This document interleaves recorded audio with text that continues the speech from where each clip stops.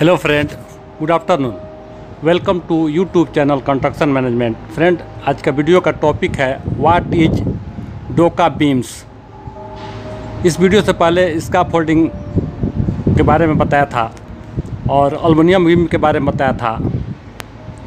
और भी जो शटर में लगता है उसके बारे में बताया था। तीन चार तरह का वीडियो बना हुआ है जो सिलाब में काम आता है। आज के बारे में हम आज के वीडियो के बारे में आज बात करेंगे। कि डोका बीम क्या है? कैसे लगाया जाता है? कैसे इस्तेमाल किया जाता है? तो डोका बीम जो है, कंपनी कई साइज़ में प्रोवाइड करती है।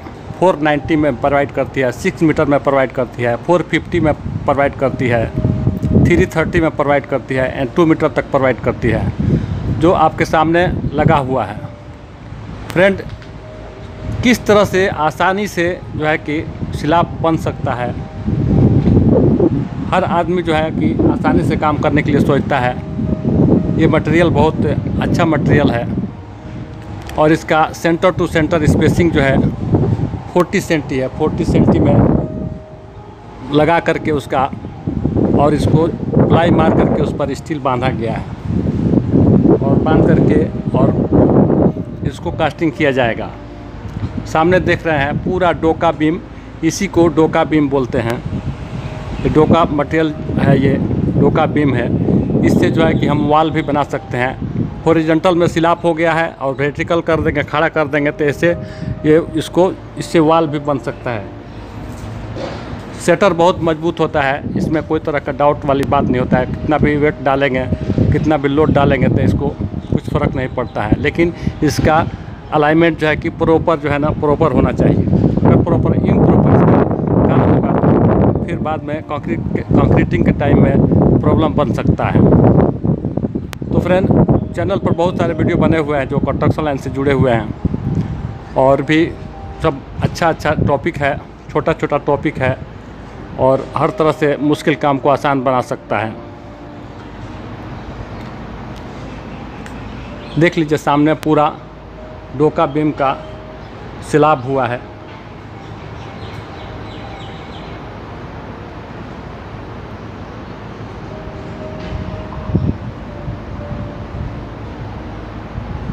इसको डी शटर करने के लिए देखिए मशीन लगा हुआ है। हाइड्रोलिक सिस्टम है, ये हाइड्रोलिक से चलता है। इसको डी शटर करने के लिए इसको उठाएँगे, उठा करके और पूरा जो पेरी प्रफ्ट है, उसको निकाल देंगे। पेरी प्रफ्ट का भी मटे वीडियो बना हुआ है, उसको भी आप देख सकते हैं। वाटर स्टॉपर का वीडियो बना हुआ है, बहुत वीडियो बने हुए हैं चैनल पर। आप आकर के देख सकते हैं लेकिन उससे पहले चैनल का अगर सब्सक्राइब नहीं किया तो सब्सक्राइब सब्सक्राइब करके बेल आइकन को प्रेस कर लें, तभी आपको कोई भी वीडियो बनेगी, उसका नोटिफिकेशन आप सभी लोगों को मिलती रहेगी। देखिए, पूरा जो है डोका मटेरियल है, डोका बीम है, इसी को डोका बीम बोलते हैं।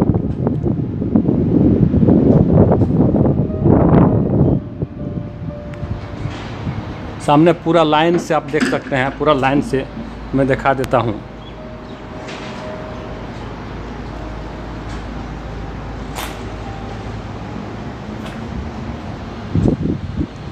ये हर हर आदमी अपने पास ये मटेरियल नहीं रखता है रेंटल मटेरियल है रेंट में आया हुआ है, जिसका रेंट है, वो फिर इसको डिसटर करके और फिर इसको वापस रिटर्न कर दिया जाएगा, सिलाब ख़त्म होने के बाद से।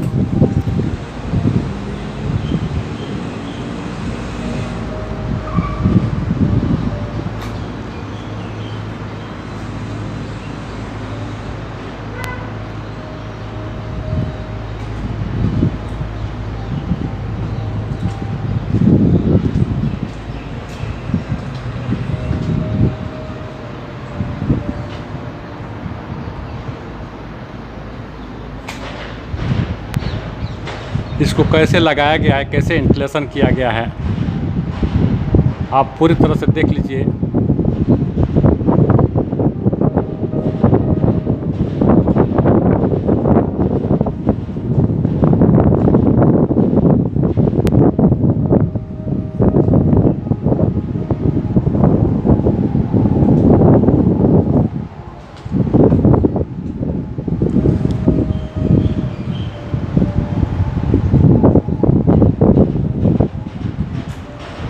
तो फ्रेंड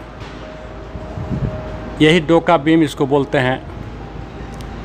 डोका का मटेरियल है, डोका का बीम है। इससे वाल भी बन सकता है सिलाब भी हो सकता है टेबल फॉर्म भी बन सकता है। तो फ्रेंड इस वीडियो में बस इतना ही जानकारी देंगे।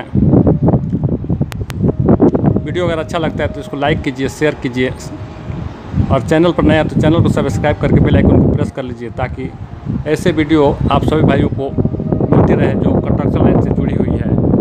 ट्रू है रियल है, सच्चा है। इसमें कोई तरह का फेक टेक नहीं है। और कंस्ट्रक्शन लाइन से जुड़ा हुआ है, जो भी है प्रूफ के साथ जो है, आप लोगों को नॉलेज मिलती है। वाटर स्टॉपर कैसे लगता है?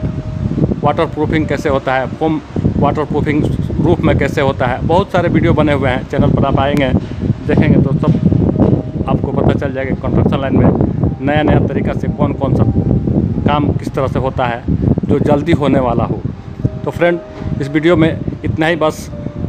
फिर मिलेंगे अगले वीडियो में, तब तक के लिए थैंक्स एंड टेक केयर